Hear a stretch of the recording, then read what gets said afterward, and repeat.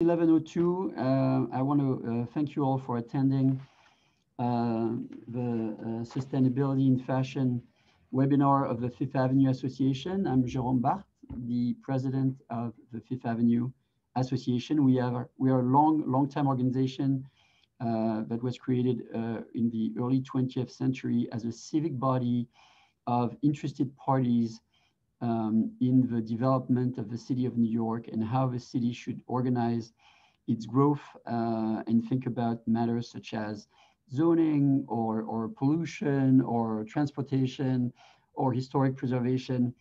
And today we are a business improvement district. Uh, we acquired this status in 1993 and we are uh, very much engaged in the matter of uh, what luxury retail uh, should be and can be and can offer to the people of New York and the world who visit us here. And we are uh, debuted in February a series of talks in the world of fashion uh, dedicated to topics of interest uh, to us all. Our first uh, conversation in February uh, revolved around the topic of diversity. And today we are absolutely delighted to welcome Marie-Claire Daveu of Kering, uh, on the topic of sustainability, which is a word that keeps coming back. I, I don't want to say in every conversation, but almost every conversation I have with retailers, with brand marketers. And so we thought we'd get our perspective. Please allow me to give you a, a short biography of Marie-Claire. Marie-Claire Daveu began her career as the technical advisor to the cabinet of Prime Minister Jean-Pierre Raffarin in France, before becoming principal private secretary to Serge Lepeltier, Minister of Ecology and Sustainability. Uh, in 2005, she became Director of Sustainable Development for the Sanofi Aventis Group, which was just in the news uh, today for producing vaccines in partnership with, with another large group. Uh, from 2007 to 2012, she served as Chief of Staff to French politician Nathalie Kosciusko-Morizet, who is also in the news regularly working in various uh, secretaries of state, and then at the Ministries of Ecology, Sustainability, Transport, and Housing. So um, for those of you who are not French on the call, uh, this is a really prestigious career uh, back, back in her, our home France, um, which we share, and, and uh, really, really extraordinary pedigree. In 2012, she was appointed Kering's Chief Sustainability Officer and Head of International Institutional Affairs. She sets out the strategy and ambitious objectives, as well as implementing a set of best practices within the group and the various houses. Today, Kering uh, is a world-renowned uh, pioneer and recognized leader in sustainability. And finally, as a French national, she's a graduate of the Paris Institute of Technology for Life, Food, and Environmental Sciences. And she also earned a postgraduate diploma in public administration from Dauphine University in Paris. So Marie-Claire, welcome. Uh, it's great to have you here. And if you don't mind, my start in this way, I would say, how did you, uh, clearly your career has revolved around the topic of sustainability. How did you get involved in sustainability and, and how did this become the, um, the, the, the, the, dominating element in your career? Hi, Jerome. Uh, so first, thank you for uh, the invitation and uh, thank you also for uh, your uh, kind words to go quickly about uh, sustainability and uh, how um, did I get involved, uh, I would like to say that uh, for me, sustainability and the environmental side, it's at the same time a work, but uh, also a passion. So I'm very happy to be able to combine uh, both of them. And I always had a passion for animals and biology. As a teen, I worked for an NGO that was dedicated to animals. And after I decided to uh, become uh, an engineer because I, think that it was uh, great to be able to do something on the environmental side because I am convinced that to protect the environmental side was important for the planet, but also for, for the human.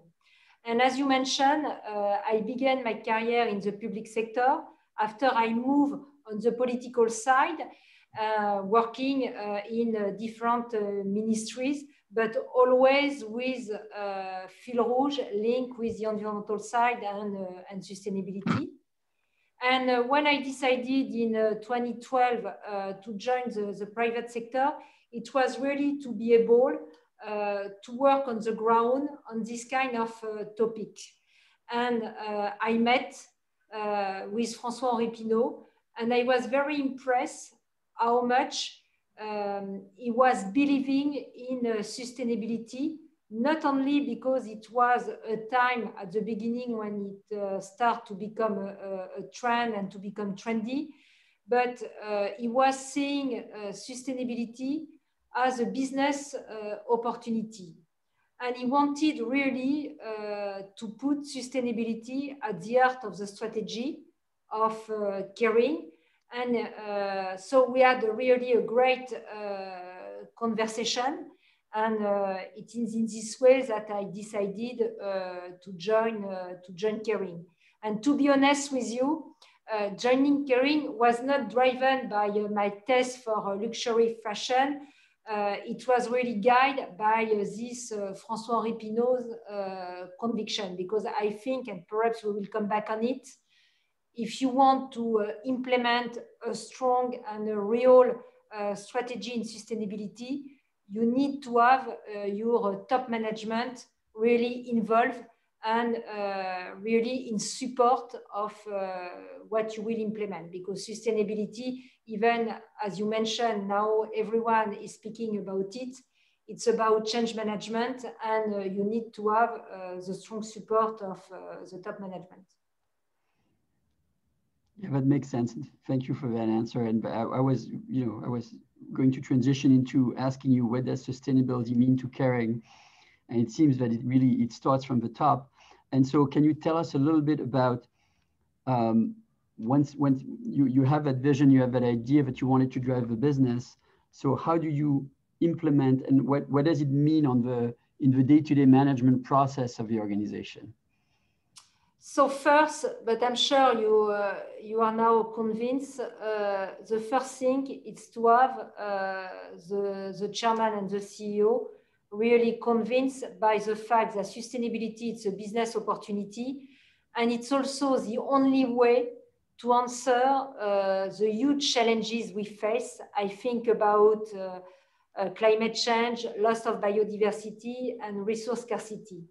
And at the level of Kering, we think that uh, sustainability and uh, luxury are one and the same. So after to be sure, and it's my role that this vision uh, will become uh, a reality inside the group, what we have defined, we have defined a strategy for 2025 where we have identified uh, key targets with a specific uh, calendar. So to give you concrete example, we want to reduce by 40% our environmental footprint by 2025. Uh, we want to be aligned with the 1.5 degree when we are speaking about climate change. Uh, we want to be able uh, to have the full traceability for our uh, raw materials and our uh, processes. So it's when we speak about the environmental side. We have also specific targets with uh, KPI for the social side, inside and outside the company. For example, we want the gender parity at each level uh, inside the company. Uh, we want uh, equal uh, salary between men uh, and women for all the countries. Uh, in our supply chain, we push what we call the living wages again wherever we are working in the world. So, you know, many, many things like that. And uh, what, is, what does it mean day to day? Day to day, it means two things. First, to have the right governance in place uh, to be sure that, like for the financial performance, you can check where we are on the sustainability targets. So that's why we put in place in 2013 a very strong governance link with sustainability, where you have a specific committee at the level of the board. I am part of the executive committee my team at the level of the corporate is really acting like a sparring partner with our brands uh, to give them the best practices, but also to challenge them. Uh, and after inside our brand, we have identified key targets in link with the target of the group. And we have also dedicated people uh, to uh, follow and to implement sustainability policy. Perhaps something that it's uh, two things which are uh, really also uh, key to, to share with you. Uh, the first thing is when we are speaking about sustainability, we believe a lot in innovation. So uh, that's why we invest a lot in startup. Startup link with uh, how I can do new raw materials, for example, laser in lab, eco dyeing with microorganisms but also with the processes, uh, how we can do a tanning process without heavy metals, but also for the end of life of the products, pushing uh, upcycling, uh, recycling. So it's one thing. Uh, and after also to stimulate uh, people inside the company, we have a link, uh, a part of their bonus directly with the results they achieve in sustainability. So really, we really manage uh, financial performances and uh, sustainability performances, if I can say in the same way with the same tools. So that's why, for example, we are organizing uh, sustainability reviews like you are doing uh, business review. And perhaps also something that is interesting to share is the fact that because we are in luxury and because we set the trends, uh, thanks to the G7, François-Henri Pinault was able to put in place the Fashion Pact Coalition. That's where I was going to go next. So, in 2019, yes. where now we have over uh, 60 signatories. So it represents 200 brands, over one third of the fashion industry. And this coalition of fashion players is, uh, I like to say, historical and has set tangible targets and KPIs on climate, biodiversity, and uh, ocean protection. And of course, we have also uh, American companies, European companies, Chinese companies. Uh, so it's becoming uh, all over the world. Yeah, the Fashion Pact seems really uh, an extraordinary tool to drive this change beyond your group. Um, so thank you for, for highlighting that. I would say you, you've highlighted a number of the initiatives that, you, that you've started. And my question would be, what's, what sort of the, re, the, the feedback you're getting on this? What are the results? Uh, what are you hearing from the consumer, from within the business groups? How, how, how is the, now that you've um, put this energy into the system, what's coming back towards you? So the, the first thing when we are speaking about consumers, uh, consumer, they are more and more aware about the environmental issue, but also the social issue uh, in the supply chain. So they are asking more and more uh, things uh, to the brands. So it means to our people who are working in the boutique. So they don't come and ask, uh, can you explain your uh, sustainability uh, strategy or share your action plans? But they will ask questions about uh, where the laser is coming from. Uh, could you uh, share more information about the traceability, about animal welfare, about the working condition inside your supply chain?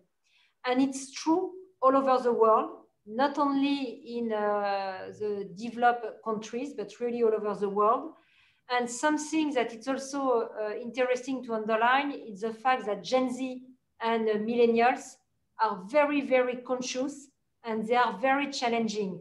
So when you are a luxury brand, uh, we like to say that our clients and customers, they are waiting from our side to be perfect not only by the design or by the quality of our raw materials, but also the fact that you pay attention to the people and you pay attention to the planet. Uh, that's why sometimes we say uh, that sustainability, it's really in the DNA of our products. It's really uh, inherent to the quality and it's a link with what we call the modern luxury. After, what are we saying to our clients and customers? The first thing is, of course, uh, to show them concrete results. So that's why, and perhaps uh, some of you in the audience know the tool we have developed. It's what we call uh, the environmental profit and loss account. It's really a very important uh, stone in our sustainability uh, journey. And it's a pioneering tool where you are able to measure your environmental footprint, not only in your own operations, but also in your entire supply chain until what we call tier four, it means cattle farming, cotton farming. And what is very uh, pioneering and very interesting is the fact that you measure on the society. So you give a monetary value to your environmental impacts. You are not speaking about liter of water, uh, tons of uh, CO2, but you will give a monetary value to be sure that uh, you take into account all the negative uh, externalities. And without being uh, too much technical, but only for the greenhouse gas emission, to share with you that uh, we take the level of 70 uh, euros by ton of carbon. So you see, if you make the comparison with the pricing on the market, we really internalize uh, the negative uh, impacts. And what we are also doing on regular basis, uh, we share where we are. So our successes, for example, we were very happy to share the fact that uh, between 2015 and um, 2019, we were able to reduce our environmental footprint by 29%. Uh, uh, the fact that uh, this year now we have 93% of our electricity which is renewable energy. 100% of our goal is that we buy is ethical gold and also to continue to make some uh, announcement about new topics like uh, biodiversity. Uh, we created in July 2020 a specific regenerative fund for nature with CI and Conservation International, which is an American NGO, really to transform agriculture classical agriculture in regenerative agriculture uh, in our uh, supply chain. And we want to have a net positive impact on biodiversity by uh, 2025. So you see, we have a matrix approach and uh, we try really because we are very conscious about the fact that uh, we have to act. So we want to go on uh, every topics. it's, it's incredibly ambitious and it goes into so many different areas for, from agriculture to uh, supply chain and measures and, and uh, I can only applaud you for it, but it's, it's, it's fascinating. Um, any other uh, interesting, because it's so interesting to, to, to delve into the details of what this means, uh, sustainability practices that you might have implemented to measure your impact along the supply chain? Yes, but it's, uh, it's uh, what I, I try to, to share with you. It's our tool yeah. what we call the environmental profit and loss account. So that's that's the main tool, yeah. Yes, yes, and uh, perhaps something interesting also if we have uh, in the audience some uh, companies, we open source our methodology, and we are very proud because now all over the world, more than uh, nearly uh, 200 of uh, companies have implemented this methodology, and not only in the fashion industry, but for example, in the automotive industry, in the pharmaceutical industry, uh, and also in the food industry. Um, after why the PNL, it's a, a very powerful uh, tool because we put in place all our uh, actions based on the result inside our EPNL. So for example, we were able to see that cashmere, to give you a, a concrete example, cashmere even if the volume are not huge, when you use cashmere, you have a very uh, big impact on the environmental side. So we decided to put in place a specific supply chain in Mongolia with some uh, farmers and with a specific rule to be sure that this cashmere will take into account the ecosystem, the consumption of water, the, the, also uh, the, the way of living for the local communities without uh, putting, uh, I will say in another way, uh, animal welfare. So really to develop a 360 approach. We did that for cashmere. We did that also for wool, for silk. of course, we are working on leather with cattle farming in the same spirit.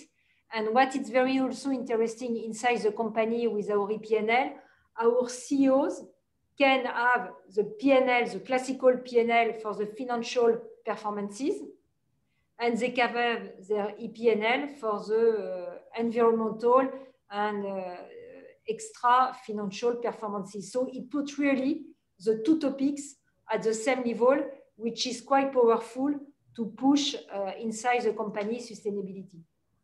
Fantastic. And uh, as you go on this journey, what are some partnerships with other organizations or companies or collaborations that you might have embarked on uh, that, that have been successful? Alors, first, when you are speaking about sustainability, there is a two uh, really important topic. First, it's about uh, transparency, and the second, it's about collaboration. Uh, if you want really uh, to find the ways to tackle the issue and mention on the environmental side and on social side, uh, you need to collaborate. So uh, we have different kind and uh, levels of uh, partnership. So with experts, with scientists like IUCN, Conservation International, Business for Social Responsibility, BSR, but also a museum like in France, Museum d'Histoire Naturelle. After, we have also several uh, collaborations with school. So London College of Fashion uh, in UK, uh, IFM in France, Parsons in United States, uh, Tsinghua University uh, in Beijing, uh, PolyU in Hong Kong. Uh, so I, I won't mention all of them, but it's very important also to have cross fertilization. So with experts, with NGOs, but uh, also with uh, students. And after we have also collaboration. I don't know if you know this organization, but uh, it's well known in, uh, in Europe. It's a global fashion agenda. It's more at the industry level. And after we have uh, We Love Green. It's a green festival or uh, we have a dedicated uh, place. I'm sure you don't know, but uh, it's quite innovative in Europe, like La Caserne. It's an upcoming singular place for fashion in Paris or um, partnership link with innovation, like Change Now Summit that will take place end of May virtually. So, you know, uh, we have also uh, created uh, an incubator uh, link really with sustainability and innovation based in Amsterdam. So, you know, it's quite diverse. And of course, we count also a lot with the partnership we have through the Fashion Pact to continue to develop and to identify best practices that we will be able to, to put at scale. Because one also of the issue in sustainability is to be able to put your pilot project at scale to be sure that you will change really the paradigm. Great. And so clearly from everything you, you've been telling us, uh, it's obvious that market that, that sustainability goes beyond pure uh, marketing label, but but is, has become integral to the functioning of Kering and, and the whole way you conceive of a product uh, and the responsibility of your organization. And, and you mentioned earlier how you, you joined the group because you wanted to affect change on the ground. And I'm wondering, what would you say to uh, a younger generation of consumers or students who many of them are very cynical about the way our society is functioning at this moment? And how, how can they, how can we make them believe that the way to, to actually lead change is to do it from the from the inside, so to speak, working with these groups and and um, and changing the way we produce and we consume? Alors, first, uh, beyond uh, students, uh, beyond consumer, and also beyond employees, you have a citizen. Uh, and I think the most important thing uh, is the fact that everyone has to be conscious that he has to take uh, his or her part of uh, responsibility. Uh, I really think that now the diagnosis uh, is clear for everyone. When you listen to the scientific, you know that we have, for climate change and biodiversity, less than 10 years uh, to bend the curve. So now uh, we must accelerate our efforts. Uh, we must continue to act collectively each time we can. So what does it mean if you are a consumer? It's to ask a question to the brands, is to uh, take the time uh, to dig the topic uh, and to make some research or to ask, for example, in our group, uh, question to people in the boutiques to know uh, which kind of raw materials, uh, where it comes from. So really to engage a conversation to show that the dimension of sustainability, it's important. And as a customer, they believe in it after if you are uh, a student or uh, if you are uh, starting your own business i think people have to understand that sustainability today, it's not an option, uh, it's a necessity. And above all, if you are working uh, in fashion, uh, it's a duty because fashion uh, represents 4% of the global emission. So the industry has clearly a responsibility to act and change uh, the business model. So if you want to work in our industry as a student, you have to be conscious that you will have to contribute. Um, after, uh, it will be also as companies to take our responsibility, so also to use uh, the new uh, technological tool like uh, intelligence artificial to really uh, produce uh, the right quantity. it's also, even if we are in luxury, we think that, for example, inside Kering, that it's really important to use EI. Uh, it's also to push uh, the second hand uh, because it's also part of what we call the circular economy. And also, it's to believe in innovation. As I told you, innovation is crucial. And today, for example, at Kering, we are working with over 100 startups uh, in the world. But it's not because we invest in innovation that you don't have to put at place the best practices already now because we don't have the time. So you think perhaps I'm a little bit dreaming about the fact that everyone will be engaged. But again, uh, for me, there is no choice. And something that it's also very interesting, and I'm sure that in United States, you are uh, well positioned on it, it's the fact that now investors are really uh, asking questions about sustainability. So it's what we call ESG. And if you make a comparison between four, five years ago and now, I can tell you that it's becoming more and more also crucial for them. Uh, they have a risk management approach and they ask more and more questions to the companies to understand in details what we are doing on the environmental side but also what we are doing on, uh, on the social side. So it's, uh, I think it's really powerful, the fact that the financial community now becomes more and more uh, interested in. Yes, no, you're right, and that that uh, certainly we see that the sustainability question uh, increases in the financial world as well. That's that's in the press here constantly. And, and, and perhaps, Jerome, to, to add also uh, what is interesting with our employees, above all, we, uh, for employees, you have two categories.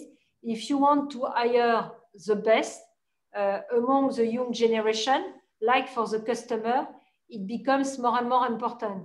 And we see that the young uh, employees, before joining us, for example, they, they are challenging about what we are doing on social and environmental side.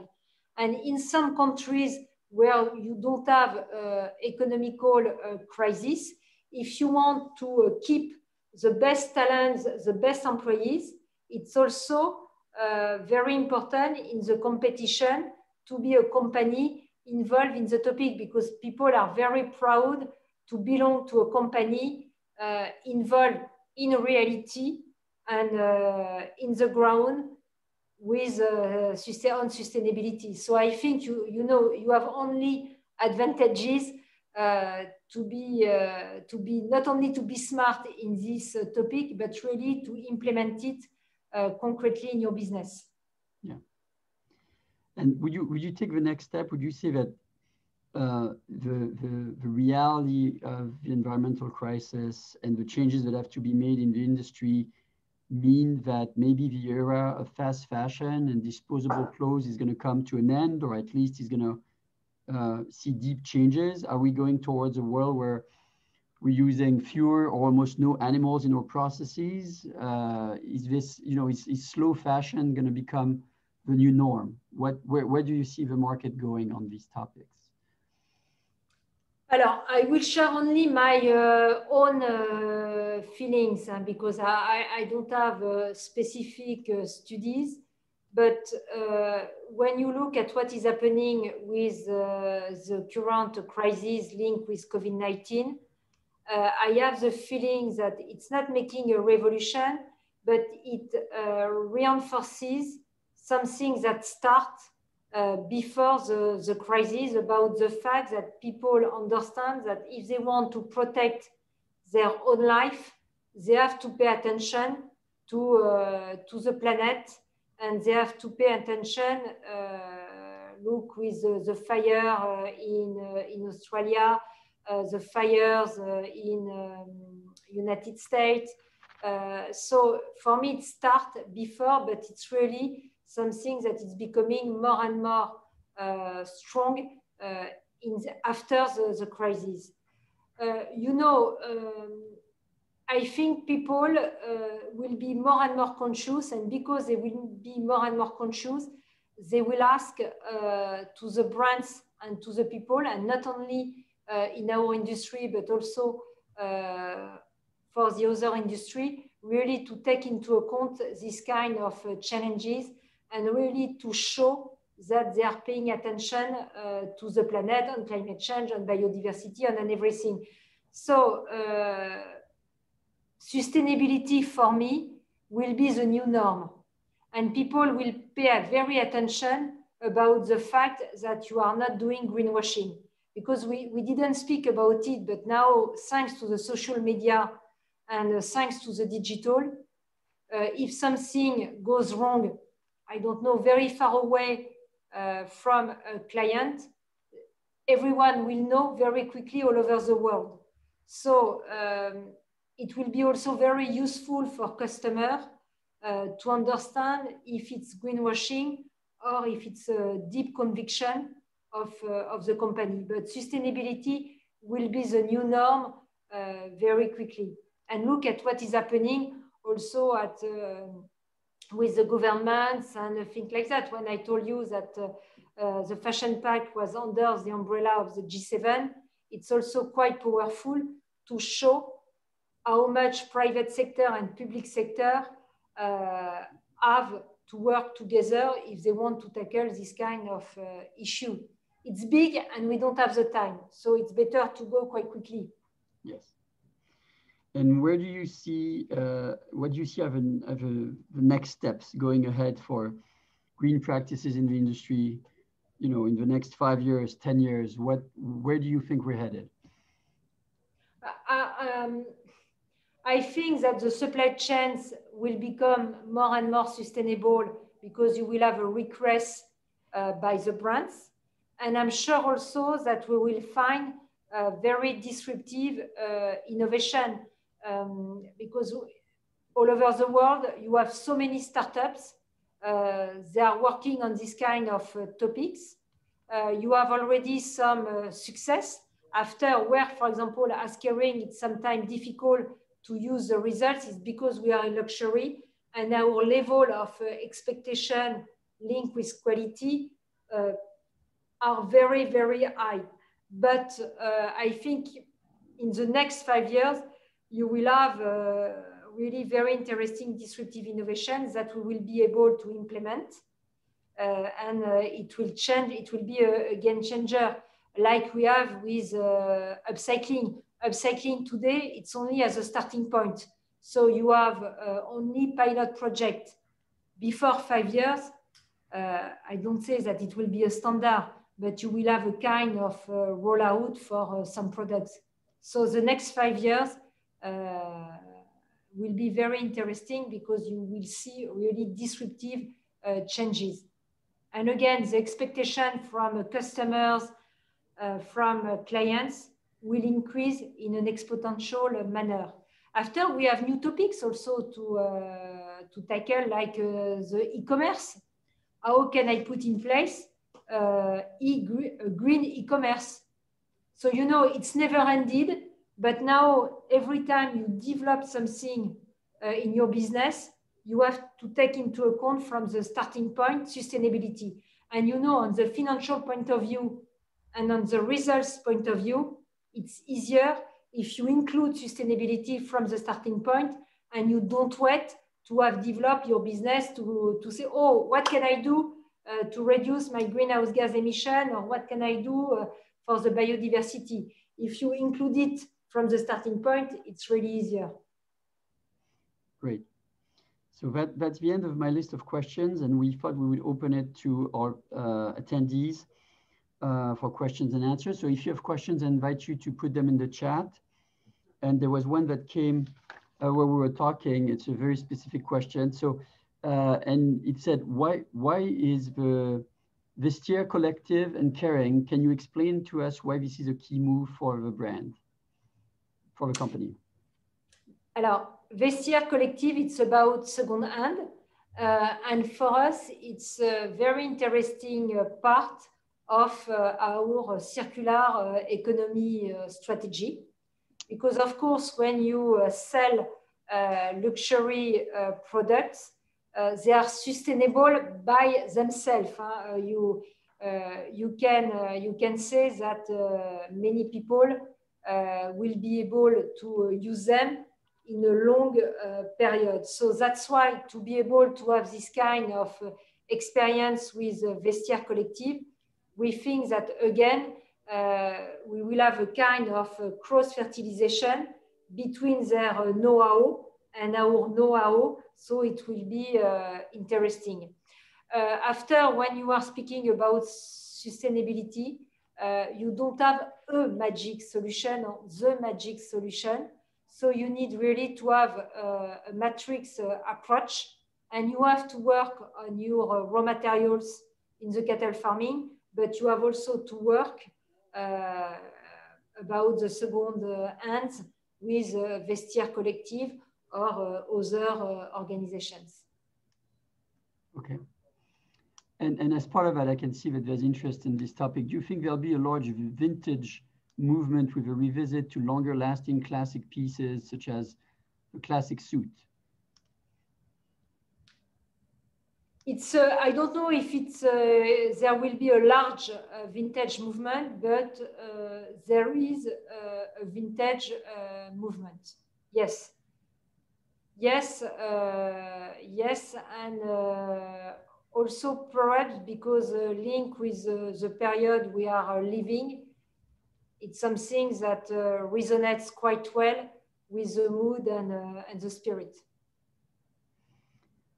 Um, I, I, I, there's no doubt about it in my mind. I, can see I have, I'm a father to three young daughters and they, they all go shopping at thrift stores and secondhand and it's, it's, it's part of a, it would have been unimaginable when I was uh, their age. Um, one question was fashion biodiversity. What's the link between the two? Fashion and bio, okay, uh, fashion and biodiversity. So, uh, you know, most of our uh, raw materials are coming directly from uh, nature. Okay, when you are uh, thinking about the raw material we are using, they come from uh, they come from the field, they come from a forest. So it's the first dimension. And the second dimension is the fact that uh, most of our designers find also a lot of uh, inspiration uh, through the biodiversity, birds, flowers, uh, grass, and, and everything. So for direct business reasons, we think that it's important to protect the biodiversity. Uh, if we want to continue to develop our business, we have to be sure that we will have the same quality of uh, cotton, the same quality of uh, viscose, uh, this kind of uh, raw materials. And uh, after, it's always the same thing. You have the business side and the ethical side. And for the ethical side, that's why we think that it's important to protect also high patrimonial uh, localization uh, because they, they, are part of the planet. And uh, if we want also to fight really climate change, you know that you have a strong link between the protection of the ecosystem and biodiversity and the climate change. So, so that's why it's, uh, it's quite important. And 2021 normally will be the year of biodiversity because we will have the COP15 uh, this year. And I cross the fingers that it will be like uh, for the climate change and uh, the COP21 uh, in France that uh, companies, governments uh, will make important decisions to reduce their impact on biodiversity. You know, biodiversity, when we speak biodiversity, you speak nature, mm -hmm. To, to be simple. There was a second part to one of the questions uh, previously, which was, uh, as a consumer, uh, and I hope I'm going to interpret the, the, question the right way, but what's what's the one, what's the most important sustainable element you look for as a as a consumer when you're considering a product or a brand? What's what's the information you're looking for? Uh, it's about uh, the raw materials uh, in the product, first thing, and second thing, uh, where they have been made. Okay. Uh, all right. I'm not seeing. I'm not seeing more questions. So I think that we can give back a few minutes to everybody on the webinar. Uh, thank you so much for having spent time with us and, and being so forthcoming with your answers and going through uh, such great depths and details about what's happening uh, in sustainability at Kering and in the fashion business in general. Um, this was this was wonderful for us. If you have uh, friends uh, or uh, colleagues whom you believe might be interested in this conversation and maybe did not um, were not able to join us today, it will be posted to the association's uh, online YouTube channel, and you'll be able to revisit it there.